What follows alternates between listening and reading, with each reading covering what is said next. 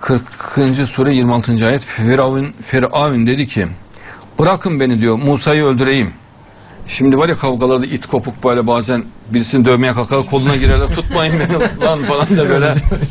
o da orada çakallık yapıyor diyor ki bırakın beni diyor. Yani yani orada herhalde saldırgan havası yapmışlar. Onlar da tutuyorlar aman yapma Firavun efendi falan diyorlar. Hani elinden şey çıkar falan. Böyle artistik hareketler yapıyor anladığım kadarıyla. Bak bırakın beni diyor Musa'yı öldüreyim.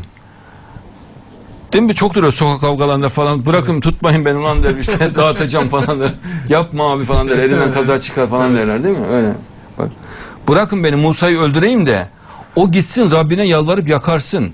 Çünkü ben sizin dininizi değiştirmesinden ya da yeryüzünde fesat çıkarmasından korkuyorum. Yani bak fesat çıkartmaktan suçluyor. O devrin Mehdisi Hazreti Musa o devrin e, psikopatı da o. Ne diyor? Yeryüzünde fesat çıkartmasından. O barıştan, kardeşlikten, sevgiden bahsediyor. O da fesattan bahsediyor. Kendini akıldane görüyor.